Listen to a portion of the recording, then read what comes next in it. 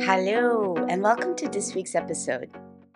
I'd like to introduce to you my friend Gustavo Sever.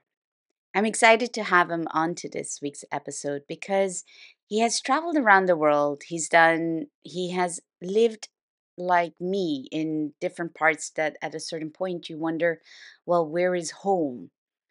And we spoke about something which is about following your heart. I wonder if you've ever had that moment in life where you are caught between other people's advice because you got to make a decision. On one hand, you want to make your own decision, but on the other hand, you are living in this uncertainty, so you end up asking different people for advices. So, sitting down with Gustavo, it was nice to hear his perspective on how he made some decisions, especially when he was moving from country to country. I look forward to sharing this conversation with you. And if you haven't followed or subscribed, it'd be really nice for you to do so. Now, one, you get notified. And second of all, it also helps grow the podcast to reach other communities who may be interested in a subject like this. Enjoy this week's episode. So, my question is what would you like if you had to share a story with somebody? What would you like to what would story would you like to share with others that you always think I want to share this story?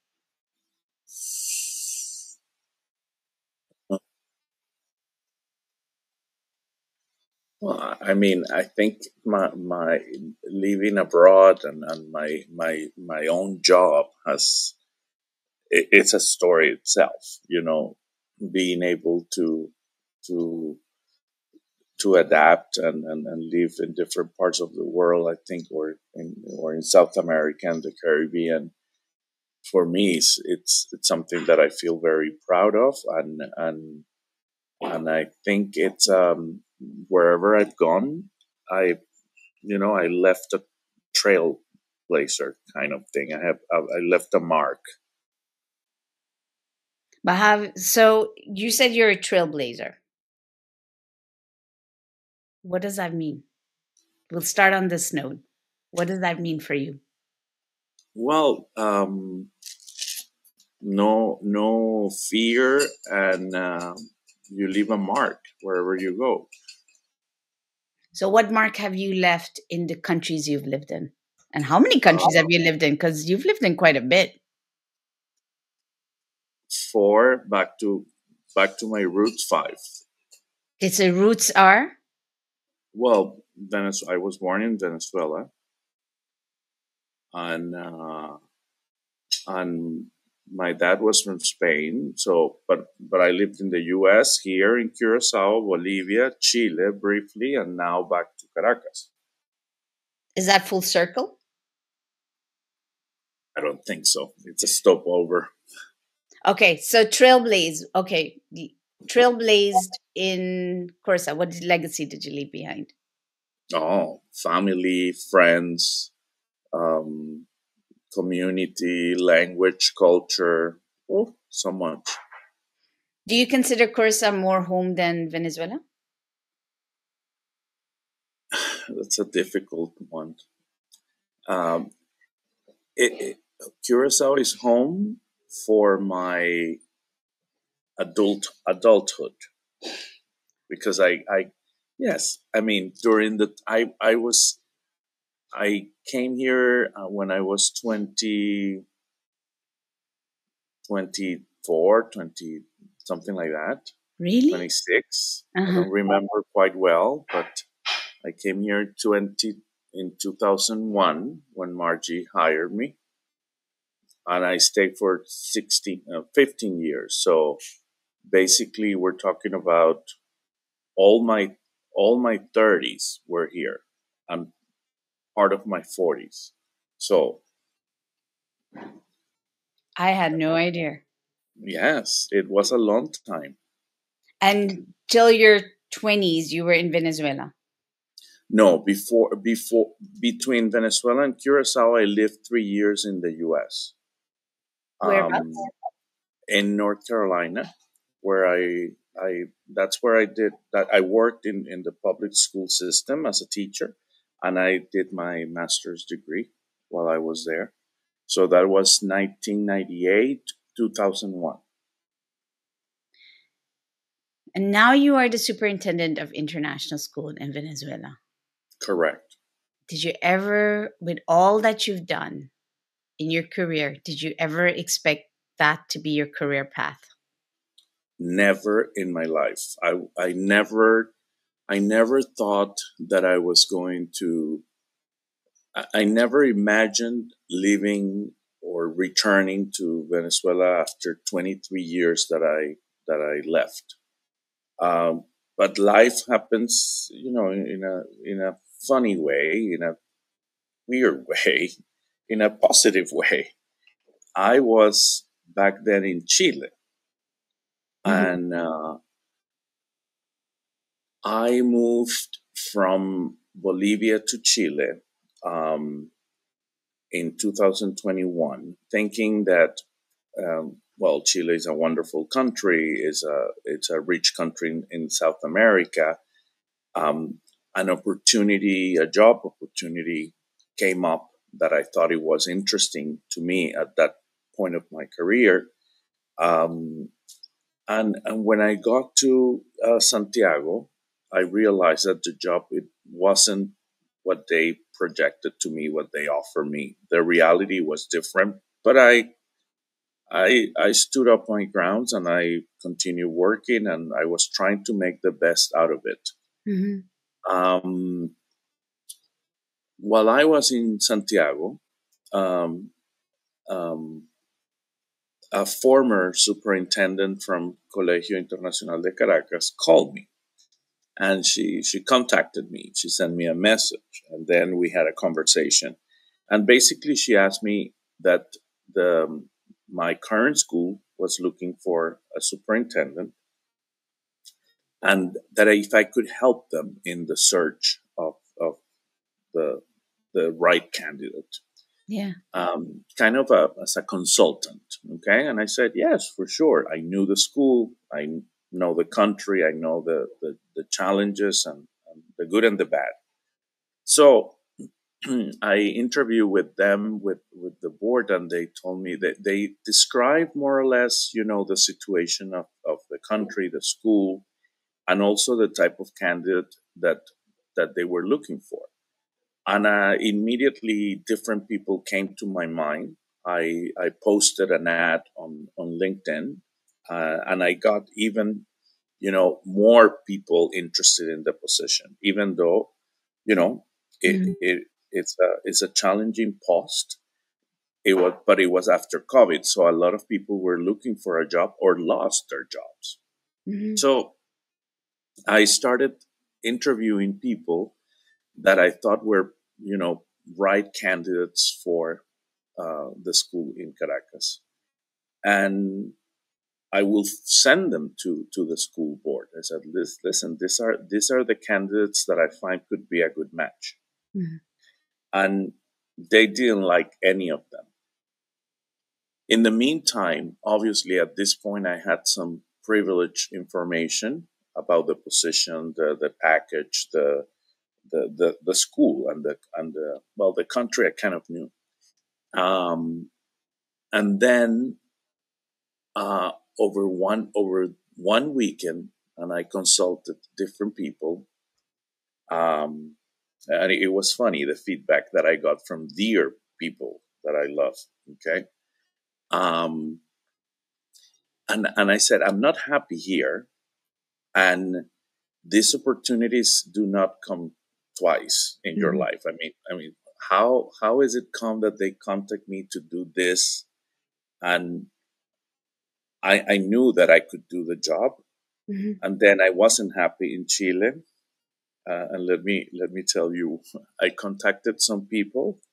Uh, one a dear friend of mine in who used to to live here in Curacao he lives in Switzerland, in, in Zurich. And he says, accept the job now. Oh, okay. On the other hand, on the uh-huh. other hand, I, I called another friend of mine uh-huh. who lives here in Curacao, and she says to me, Are you crazy? Don't So- do it. Don't do it. Like Oh my god! But that's like two pearls of. she's listening to me now, by the way. well, I know who that is So- then. Okay, so I- then but I understood each. I I understood each one of them's. Uh, I I understand. I understood their their perspectives and why. You know, Margie was So, saying, "Are you us, yeah. crazy? Like, what are you gonna go there? That's like going backwards on your career." yeah, And and then my friend from from Switzerland, I also understood what he meant. Mhm. And at the end, as I've always done, you know, I follow my heart. You know, yeah, for me, doing doing the job that I do is so important. I cannot imagine being unhappy doing my job, okay. and I was not happy in Chile.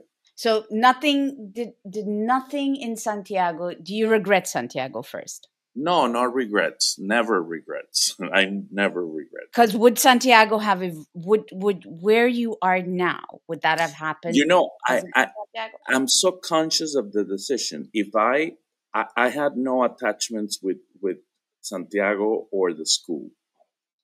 Mhm. If I would have stayed in Bolivia with a contract, with attachments to the community, to Yeah. the board, and suddenly the school in Caracas offers me the job to go, I would have said no. So you needed I said no because I'm committed to Bolivia and my school, and this is it, and I won't go anywhere. So even that favored me. The fact that I was in in, in a country where I had no uh, ties, I had no commitment to bonds to to to to to to the company, the school.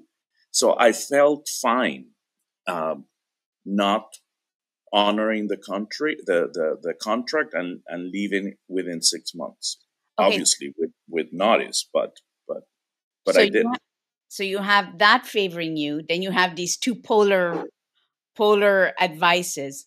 Mhm. I kind of knew their perspectives and I wanted to trouble myself listening to their, their options because obviously after 23 years without living in Venezuela, I left a completely different country than the one that I found. Yeah, of And course, because by know, now, politically at least, it was different. Yes, for sure, politically, you know, and fin- and economically as well. Um, but again, no, I, I I knew I knew um, Margie's perceptions. I knew Pedro's perception from from from Zurich, and um, but at the end, I said, you know, I, I need to follow my heart, and I don't feel well here. Here, I, I didn't I didn't feel that I, that my job was making any difference in in in Chile. Um, so I said, okay, au revoir, ciao, and I left. I gotta ask you this, maybe because I need an answer myself. I find it very hard to understand what that means. Follow your heart. Um, Think with me here. How do I describe this? My listeners are online. How do you describe listening to your heart? Because we found ourselves also in that situation. You have this opportunity in front of you, you're unhappy. You will always take advice from your friends, even though you, like you said, you kind of know what they're going to tell you. But at the end, you got to make the decision. So you say, y- follow you know. What is that? I, I, I guess for me, follow follow my heart, or or was the the decision between between the the rational and irrational. I want The more. ra- you know, I think that's it basically. So the the the, the the rational thing would have been stay here. This is a safe country with a stable economy. You have a, a secure job versus you are going to a, a country where there is a dictatorship where you left 23 years ago for different reasons, where uh, there is no freedom of, of speech, which all of those things are partially, you know, right. Mhm. But at the end, I put some, I put more weight uh, in in the fact that I didn't feel part of the community. I didn't feel that I belonged there. I didn't like the the, the school, the environment, and and and for me, that was more important than the rational things. Okay, and and I, and I'm not romantic in the sense of oh I'm going to get reconnected with my family, the one that I left 23 years ago, because I'm not. I mean, my parents were very uh, they they they raised us very independently. I left Venezuela when I was 16 years old. We were very independent. My brother and I were very independent in our own decisions and, and, and way of living. So I I it's, it's not that I had a, a romantic affair with the fact of going to back to my my my roots, my mm-hmm. where that I was born. Sense. It makes sense to me because even I now, when I've detached, you live so many places. After a while, home no longer is a romantic idea. I feel at least. I'm not sure if you agree with me on that. And and Kirti, one of the things that I discovered, you know, now that I'm doing the job, mm-hmm. I always connected with the communities. In the case of Curacao, well, it was a this is home to me. I learned the language. I connected with the people. I this these kids um, that now are, are adults and, and grown ups are part of my life. Um, same thing in Bolivia, less time, but mm-hmm. more or less the same commitment. Um, and um, and then going back to Venezuela, um, it's it's a different thing for me. It's uh, I, I do the same job, but I guess I'm leaving maybe I don't know. I'm not I don't want to say a legacy, but I but doing it in my own country um, has a different um, satisfaction. Let's say you know it's it's it's it's like I'm paying back to my community mm-hmm. where I where I grew up and you know, as a child and teenager. It's almost like you've taken all the years that you've taken something from experience the something and, from Santiago, something from Bolivia, and then you're just bringing it all back into the country.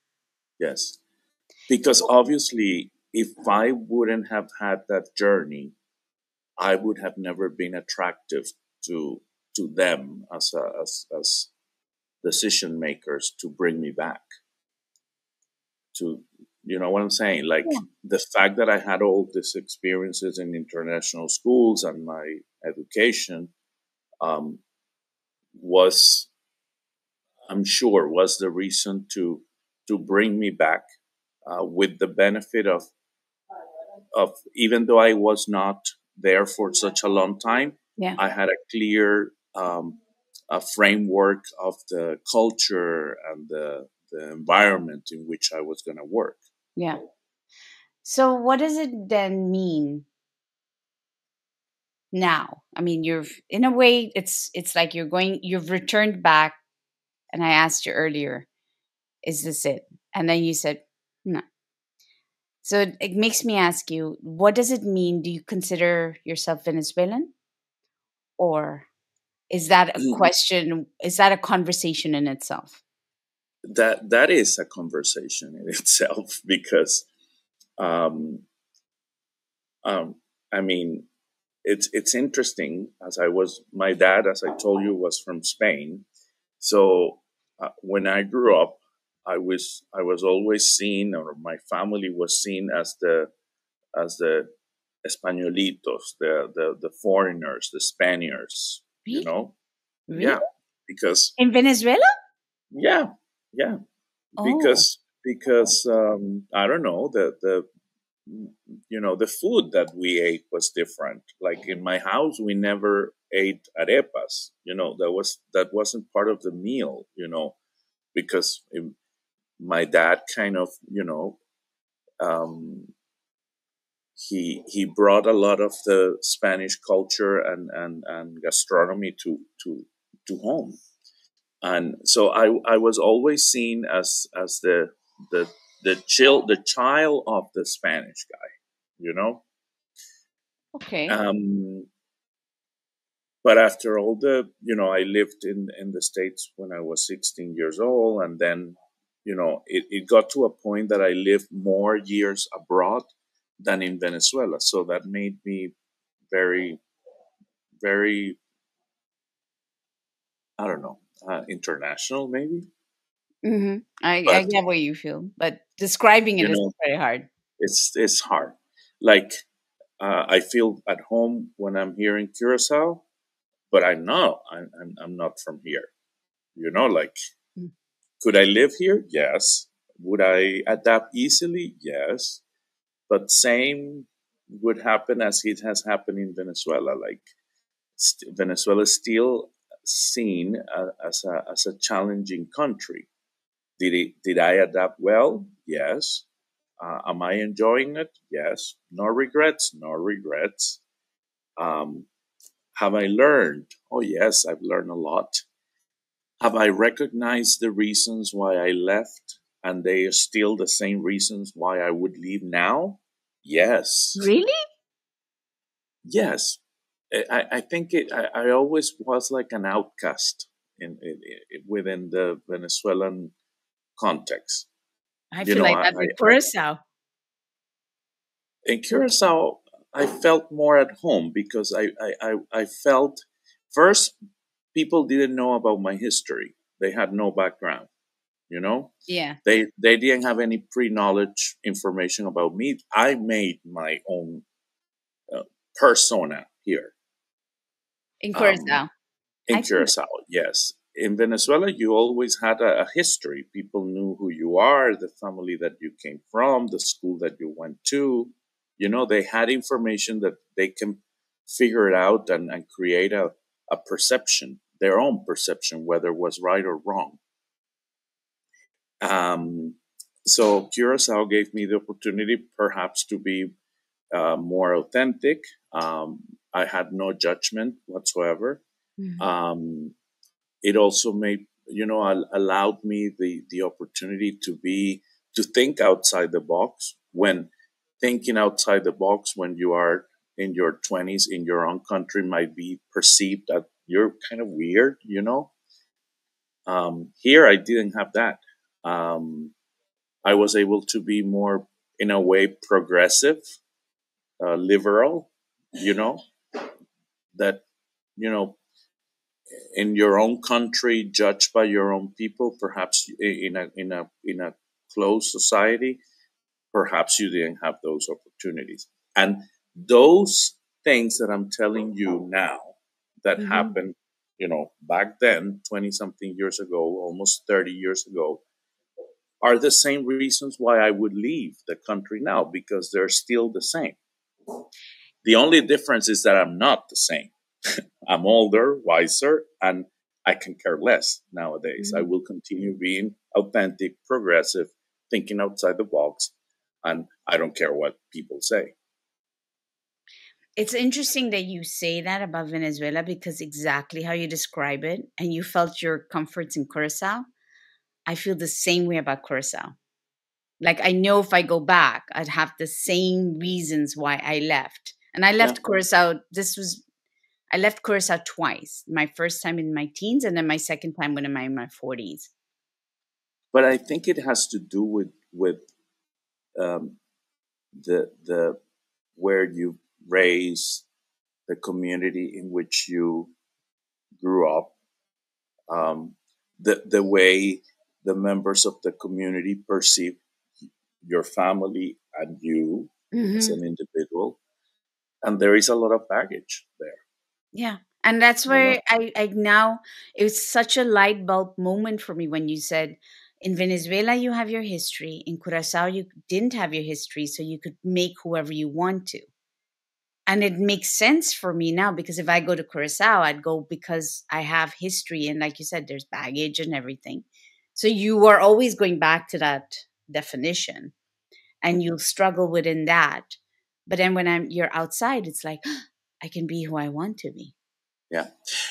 You know, I I think uh, for us nomads, you know, every Mhm. time that that we move to to another country, we have the the opportunity to reset and mm-hmm. and obviously there will be like a, a, string that will keep us together and, mm-hmm. and, and which symbolizes the, the core of who we are but there could be variations of, of, of, of who we are yeah let, let me give you an example i think the essence is the same of me uh, as a person as a professional same values, same core. But in when I moved to uh, from Curacao to Bolivia, I mean, look at this. It's a from a from a Caribbean island full of colors and and diversity yeah. to a to a landlocked country, no ocean around, in the in the Andes, very traditional, indigenous people were the majority. Obviously, cu- culturally speaking, completely different.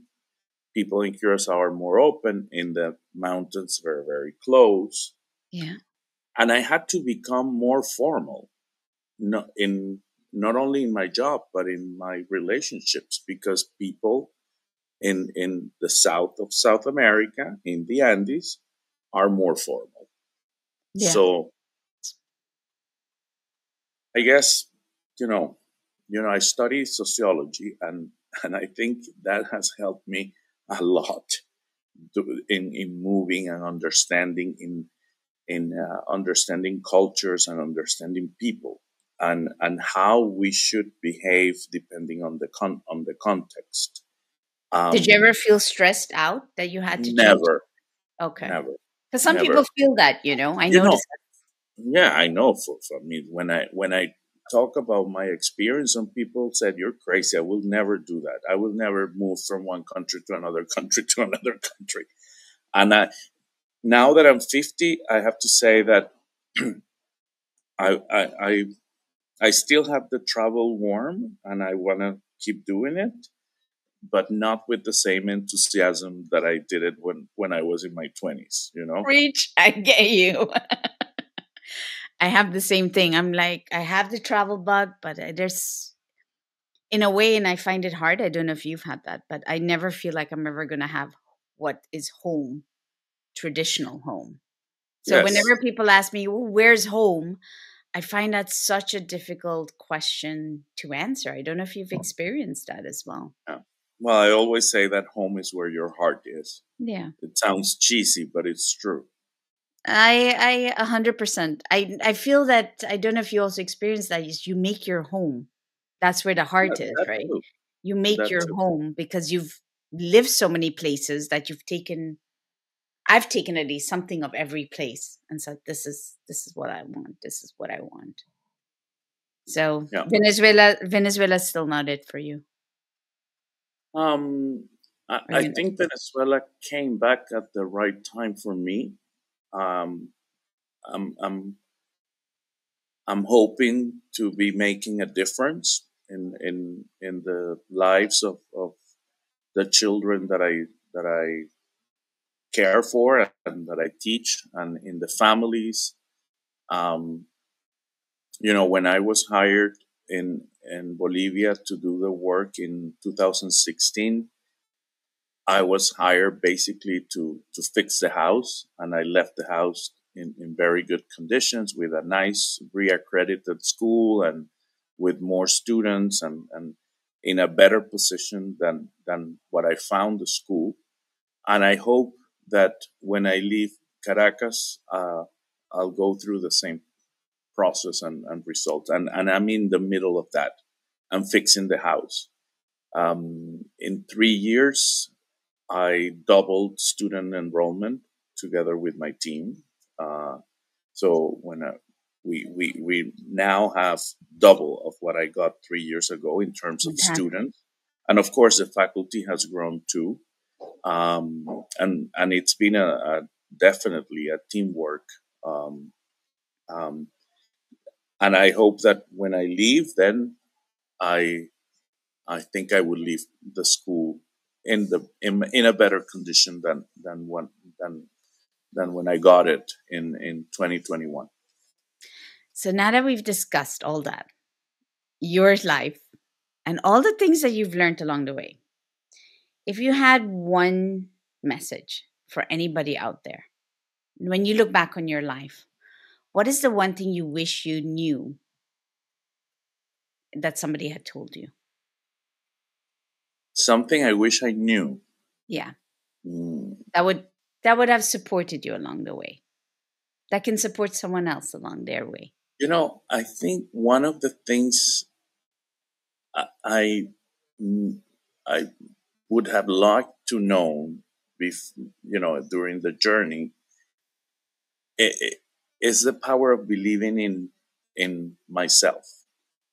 Like at times, I I doubted that I was going to be able to reach certain goals, maybe uncertainties, but you know, uh, or on or insecurities. It, uh, but and I'm not. I'm, I don't consider myself insecure at all. Mhm. Um, but modest, I would say. You know, I would say I, I, I would see myself perhaps. Well, you're good, but you're not good enough. You know, Mhm. so and and that could have been um, interpreted as as as lack of lack of trust on myself or or you know lack of security. Okay, so now when I look back and I see my my journey and and, and you know everything I've done personally and professionally, I said, well, yes, I was able to make it. I I did it. You know, I and I'm and for me, success is is not is not securing a, a good job. For me, success is first of all feeling happy. Um, you know, doing what I love to be doing. Um, and making an impact on, on people's life and, and through education, I think that that you can do a lot of that. Um, you definitely do. Well, I'm going to leave that with the audience for today because I really like today's conversation. Two things that stood out understand what follow your heart is and your definition of trailblazing and how the hard moments were just as necessary so to get to where you are. Yeah, I think um, uh, you know explaining feelings like following your heart are are hard things to do because at the end they're very uh, subjective. You know, uh, but I think if we deep dive into into the idea, I think we all can understand what following your heart is after this conversation. I'm going to leave it with that. So, Gustavo, thank you for coming. Thank you for being No, online. thank you. It's always great to reconnect uh, to you know many years of friendship and and and uh, yoga and uh, you know so many so many stories huh, to tell. There is. There is. I hope you enjoyed this week's conversation with Gustavo. It definitely had me thinking about my big decision I have to make at the moment. If you didn't know already, we do have a newsletter out where I do share my top tips on how you would follow your heart. Also, I would really appreciate it if you leave a review behind. It helps grow the audience, and I'm fairly, I'm getting comfortable now sitting behind the mic. Thank you for your support and hope you enjoyed this week's episode. Till the next one.